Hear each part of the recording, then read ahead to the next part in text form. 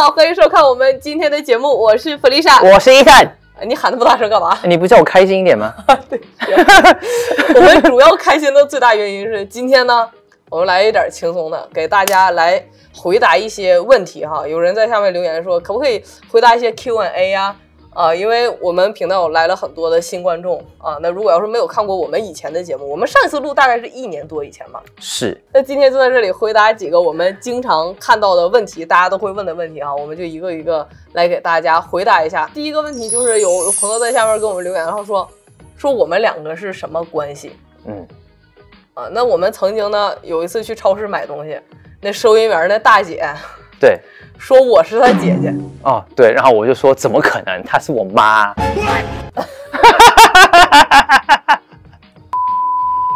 很多人更是那个什么说，哎，你们是不是两口子呀？嗯，其实我们不是呃夫妻，我们不是两口子，那我们就只是一般的一起爱耶稣的一个呃弟兄姐妹而已。同工了，啊、对就是同工弟兄姐妹，然后有同样一个意向的基督徒。对，啊，我是呃已经结婚了，然后我有两个小孩，两个小孩都非常可爱。那我是因为跟我的妻子一起去做了一个频道，叫做 PHC Project Hip Christian 颜值攻略。现在你在 YouTube 上面找 PHC 三个字，你你找不到，你找 Project Hip Christian 也找不到，不知道为什么，你只能找颜值攻略中文，别人才可以找得到我们的频道。那我跟他的关系呢，就是非常好的呃同工，我们非常喜欢彼此一起做事。我觉得她是一个非常聪明的一位女性，然后她现在还单身。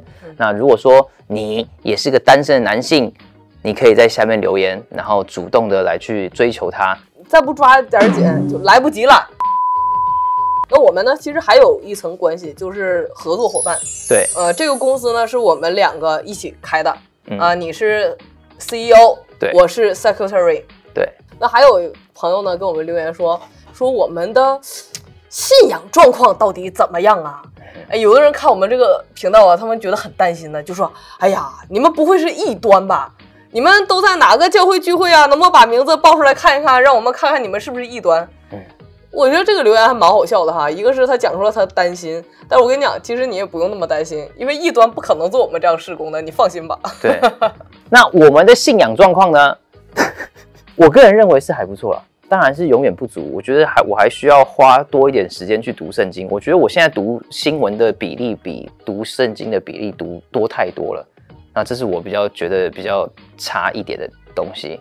那以前我那个晚上睡觉的时候，我是听 John MacArthur 讲的东西。那现在我晚上睡觉的时候是听 Ben Shapiro 讲的东西。哎呀，完了，这退步了，这明显退步啊！呀那呃，我是在 Impact Harvest Church 在 Monrovia 的一间教会，然后里面都是年轻人，哦，现在也不年轻，也都是老的了，也都是就是有小孩的那些年轻夫妻吧。嗯，信仰状况怎么样？这个是很难讲的，这个这个我真的是不知道怎么样回答。我信仰状况是多么抽象的一个事情啊！我个人认为我不是异端，因为我相信三位一体。我说三个，好，该你回答了吧？啊，就是我的信仰状况还行吧。嗯，你你很难讲，你说我一天把圣经当饭吃吗？也没有，所以这还是很不足的地方。尽量花多的时间去读经啊、祷告啊、灵修的这一些。啊，但是有的时候也是会有软弱的时候哈、有的时候也是爱刷一些视频或者干嘛的，这也是比较不好、需要改进的地方哈。那在什么教会聚会？我在 One Thing Christian Church，然后我们的地点呢是在 Claremont。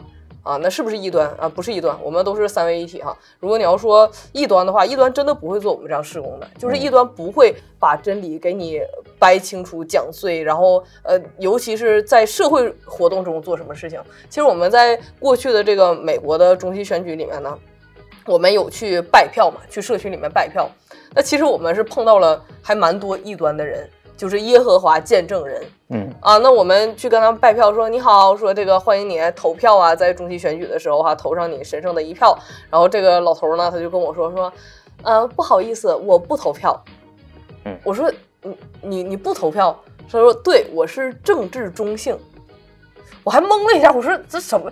我怎么没听人跟我讲过说什么非二元。对我想说什么叫政治中性，然后我就说不好意思，我说我可不可以问一下，就是你为什么会选择不投票？因为他看起来是个老美国人，然后他讲说啊，因为我的这个信仰的关系，我是耶和华见证人的。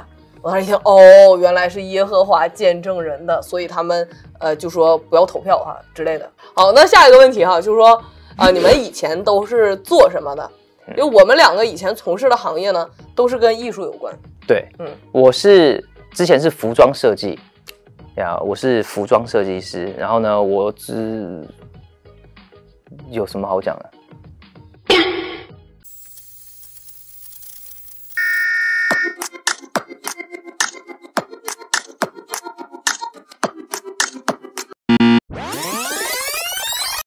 那服装设计，各位应该都知道，就是这是一个非常左派的一个环境。我认识的只要是男的，几乎都是同性恋。然后呢，我认识的女的，几乎都是很奇怪的那些女的。然后呢，他们的想法、各方面思想都是很。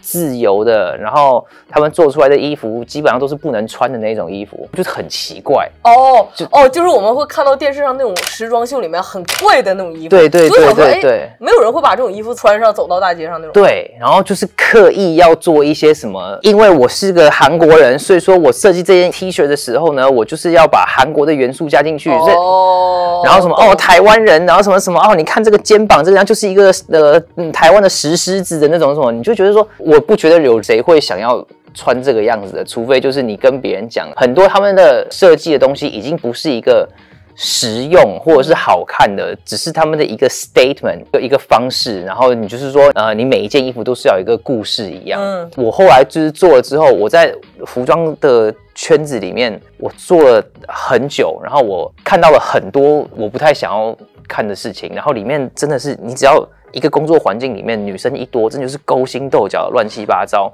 里面每一个都是跟《后宫甄嬛传》一样，天天的反反复复都是些歌舞表演，无趣。不如来玩狼人杀吧，缓缓深得阵心。这有什么好玩的？后宫不是分分钟都在狼人杀吗？那你别玩了。那我一个男生，我就不是一个特别适合跟一堆女生那边斗的那个那种人。你也斗不过人家吧？啊啊！会不会？不是斗不过，如果说真的要斗的话，男生的这个理性啊，然后还有就是列点啊，什么什么什么之类的，是比女生强很多的。常常有很多女生是会就是无理取闹的那一种情况发生，但是我就是不想在那个环境继续工作了。然后我后来我读了圣经，我觉得说有比服装设重要太多了，所以就是我我就是决定我要来传福音，所以说我就开了一个 YouTube 频道。嗯我呢，一开始的时候我是做话剧，我是话剧演员。那后来呢，我又读了呃 filmmaking，就是电影制作哈。那再后来，我又做了主持人。那在这些东西里面呢，其实你会知道说，这些都是左派集结的大本营了。就是尤其是在话剧的圈子里面，就是只是非非常自由啊，然后 的这些东西啊，那。这个电影圈里面也是更加的自由，很多人会用他们左派的思想来拍出左派的那些洗脑的电影。我很多时候当时都不懂，因为年纪比较轻，我当时都不是很懂。我现在再一回头去想，我想说，我的妈呀，他们拍内容真是可怕。当时看不懂，没有办法理解。现在年纪大了一点，再一回想，就说天哪，他们拍的内容真的是。完全是走现在左派的这个路线的，完全是这些东西哈。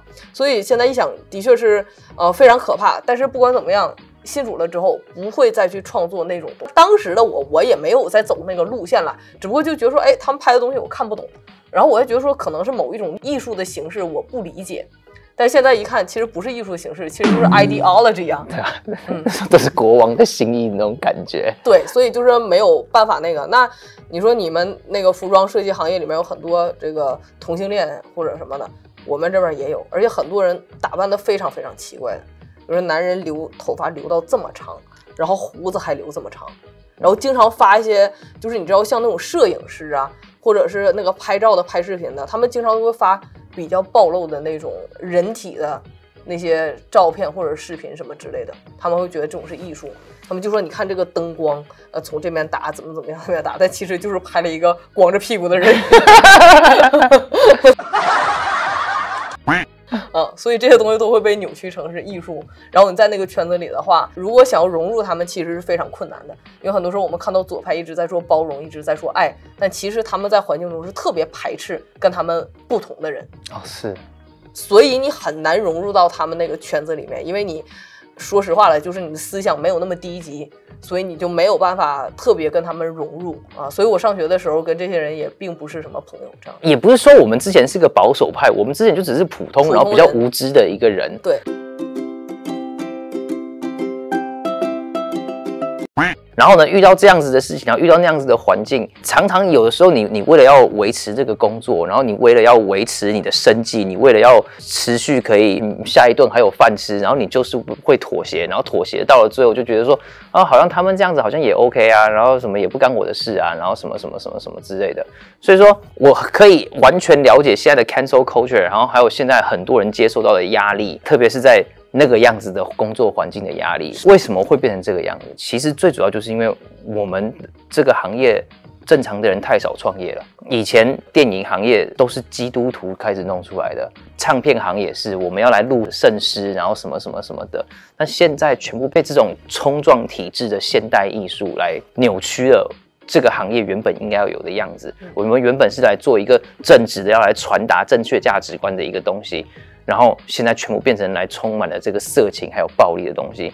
所以说，我们想要来去做这个样子的频道，所以说我们想要做 AI News，因为这个山头原本就是属于神的，嗯。一开始就是神创建的，只是为什么现在变成这个样子？嗯嗯对，那还有一个问题就是问说，哎，我们的施工是如何开始的哈？既然我以前也有自己的工作，你以前也有自己的工作，那怎么会想到说现在来做一个全职的一个 YouTube 频道？而且如果大家要发现的话，就发现其实我们的粉丝还有我们的观看量不算是很多，因为我们。不去讲人喜欢听的那些东西，所以导致我们的流量没有很多哈。那为什么会想要全职做这样一个根本就赚不到钱的工作呢？我们的施工是怎么开始的呢？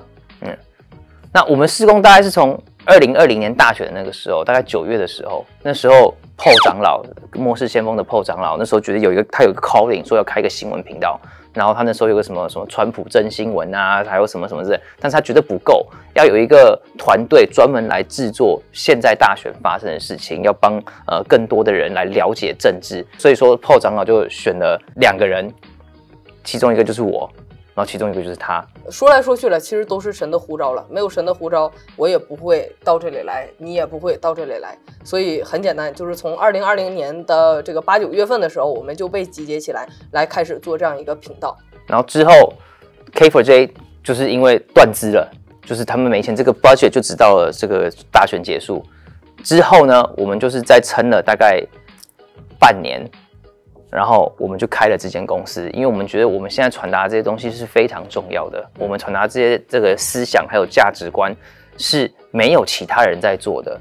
我们就变成一个从在讲选举的一个频道，开始在讲这个社会的价值观，然后还有当基督徒要怎么看这个社会。嗯所以说这个是我们的使命，这个是我们的 calling。那我们现在也是一直在讲，继续这个样做。嗯，对，一定会继续下去啊！因为神对我们的呼召就是让我们能够把圣经中的价值观，让每个人都能够更多的明白、更多的清楚，而且在我们的社会中能够行动起来哈。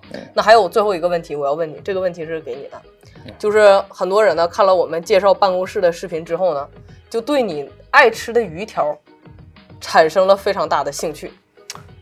他们看完那个鱼条就说：“哇，这个鱼条那么好吃。”你对这个鱼条的感情应该是非常非常深，所以我想问你，鱼条真的那么好吃吗？对，我觉得鱼条呢为什么好吃，是因为它第一个它里面就是蛋白质，而且鱼是一个非常好的蛋白质。然后呢，外面是一层面包。那面包的话，你通常是用去炸的嘛？用炸的的话，炸的话就会变得很比较不健康。但是我们用气炸锅炸的话呢，它就可以把那些多余的油脂炸弄出来。所以说呢，这个鱼条呢，它里面吃起来就像汉堡那个麦当劳里面那个汉堡那个鱼肉一样。然后呢，外面也是脆脆的，然后你来沾任何东西，而且它是一个可以让你吃饱的一个东西，它不是说就是吃你常常吃鱼肉，你吃吃吃吃吃了一整条鱼还是饿，因为觉得就是鱼肉就是不是肉，但是这鱼条呢，它里面又有这个好的鱼肉，然后呢又有这个裹这个面包皮在外面，然后各方面的，所以说我个人认为鱼条是我真的要讲这么多吗？我也是在想，为什么要讲那么多，我分析的还不错啊。还不错呀呀呀呀呀！呃，然后那你推荐大家吃鱼条就这么直接吃吗？还是要蘸酱？呃，对，应该要蘸那个 tartar sauce。塔塔酱，对，其实你如果我们常常我我是没有塔塔 sauce 的，那我是沾什么酱都很喜欢，因为我就是一个很爱不同酱汁的一个人。呃，各式各样的东西，像说就是鱼条，然后我今天星期一沾这个酱，哎，感觉不一样；星期二沾另外一个酱，好像比较辣一点，所以就是不一样的食物。你拉倒吧！你要有那么多不同酱，你还能等到礼拜二？我告诉你，他一吃饭呢，夸夸酱全都整到盘子里，整一大堆，蘸这个蘸这个，完了到最后都混在一起。对，啊、对，我鱼条我觉得是一个非常划算的一个东西，因为很大包，然后很便宜然后口味也好，，Yeah。但是如果说你要我就是选说吃 rib 还是吃鱼条，当然吃 rib。但是鱼条就是一个我平常在办公室，然后是非常方便的一个东西。好，你看这么无聊的一个这个问题，我可以回答这么的啊，好，你你最厉害，那我给你鼓鼓掌好了吧？我给你鼓鼓掌，你回答真好。好，那谢谢大家啊！如果大家要是还有什么问题，还有什么疑问的话，欢迎在下面给我们留言。啊，那如果要是觉得鱼条好吃呢，可以去买一下尝尝看。呃，气炸锅回去大概炸个十分钟左右就可以吃了，外面酥酥脆脆哈，就蘸一下你喜欢的酱吃，然后回来告诉我们你们觉得这个鱼条好不好吃。啊，如果说你是那个鱼条公司老板的话，你可以欢迎付我们广告费。哎，对啊，鱼条公司老板，我们还愿意给你代言呢。就你以后那个袋子上面可以就是这样，就一个拿一个鱼条，就这样。好的，非常感谢大家收看我们今天的这一集跟大家聊聊天的节目啊、有什么问题在下面再给我们留言啦。好，那我是弗丽莎，我是伊森，那我们就下次再见了，拜拜。